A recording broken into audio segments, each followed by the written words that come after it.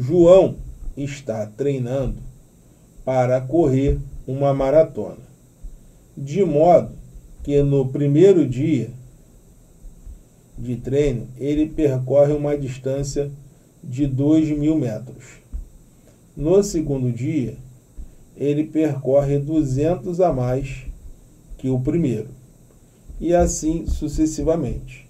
Sendo assim, ao finalizar o décimo dia de treinamento, a distância total percorrida por ele nesses 10 dias. Então vamos lá. Essa é uma questãozinha clássica, né? Já identifiquei aqui que essa é uma questãozinha clássica de progressão aritmética. Como é que eu sei que a questão é de progressão aritmética? Porque a partir do segundo, né, a sequência ela passa a ficar constante, ela tem um aumento constante. Olha o que ele está falando aqui. Ó. No primeiro dia, ó, percorreu 2 mil. No segundo dia, ela percorre 200 a mais que o primeiro e assim sucessivamente, ou seja, vai aumentar de 200 e 200. Como o aumento é constante, né, o nome dessa sequência numérica tem um nomezinho, né? É o que? PA. Tá? Te apresenta aí, ó, PA. Então você está diante de uma PA. Você está diante de uma progressão aritmética. E para achar o total percorrido nesses 10 dias, técnica R, resolver, né? Como resolver? Né? O que, que eu tenho que fazer para encontrar esse total, né? Aí entra a segunda técnica, como resolver. Então, qual é a malandragem de prova para resolver isso daí? Eu tenho que aplicar o macete da soma. Sempre que ele falar em total, ele está falando em soma. Então vamos lá. No primeiro dia ele andou 2 mil, ele percorreu 2 mil. No segundo dia, 200 a mais. Então ele percorreu 2,200. No terceiro dia, 200 a mais, 2,400. Isso até o décimo dia, que não sabemos a princípio quanto ele percorreu. Por que, que eu estou falando do décimo dia? Para eu encontrar a soma dos 10, sem ficar somando né, todo mundo ali, né, somar um a um. Ah, Marcão, eu sou aquele aluno tarado por conta. Eu vou achar todos os dias, né, quanto ele correu todos os dias, e depois eu vou somar tudo. vai acabar a tua prova e você vai estar tá lá. Imagina se ele falasse nos 100 dias. Pô, não tem como. Então, com certeza deve ter alguma coisa aí para nos ajudar. E tem, que é o macete da soma. Só que para aplicar o macete da soma, eu preciso do primeiro e do último.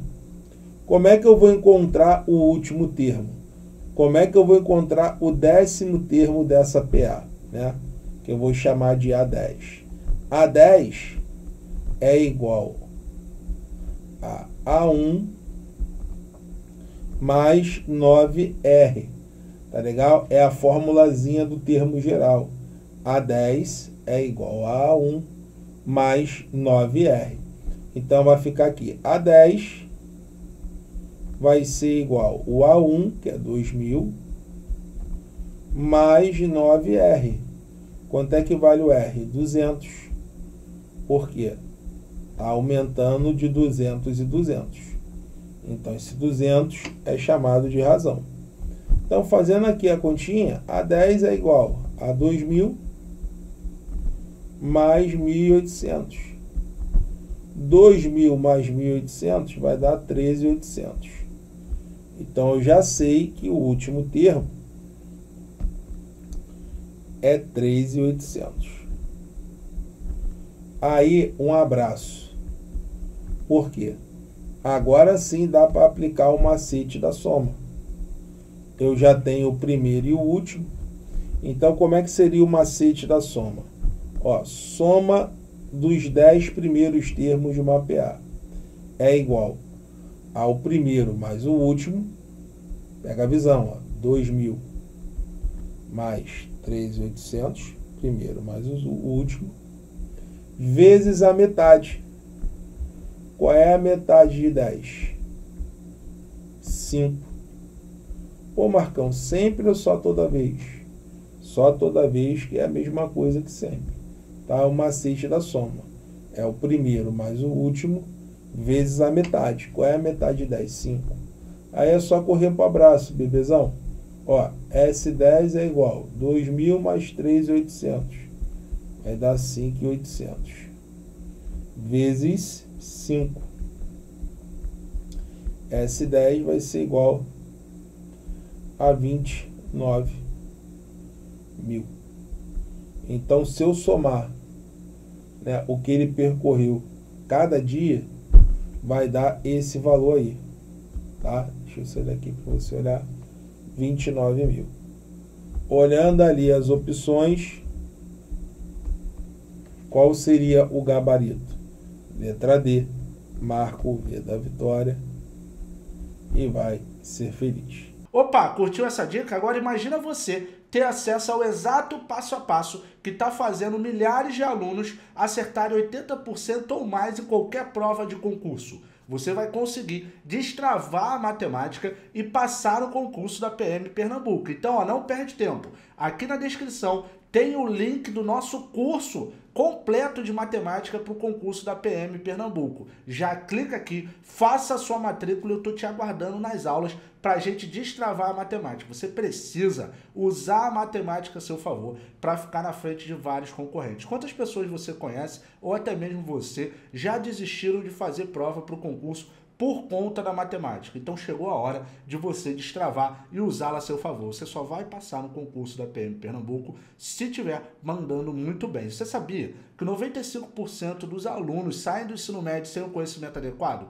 E isso está atrapalhando uma geração, ou seja, milhões de pessoas que querem passar no concurso. Por quê? Não tem o conhecimento adequado, logo fica reprovado em matemática. Então agora é a hora de mudar tudo isso. Clica no link da descrição, faça sua matrícula no curso da PM Pernambuco. Você tem o direito de experimentar por sete dias. Se sete dias você achar que não é para você, você não está preparado para aprender interpretar e resolver as questões de matemática para passar no concurso da PM Pernambuco, você manda um e-mail para a gente dentro desses sete dias que a gente devolve 100% do seu valor. Mas eu tenho certeza que você vai ver que está tudo preparado, porque nós te levamos do básico até o mais avançado. Nós resolvemos mais de 300 questões em vídeo nesse curso com você. Valeu? Então, ó, clica aí, tô te aguardando nas aulas. Um abraço, até as aulas pra gente destravar a matemática. Tamo junto, pra cima deles e até as aulas. Valeu!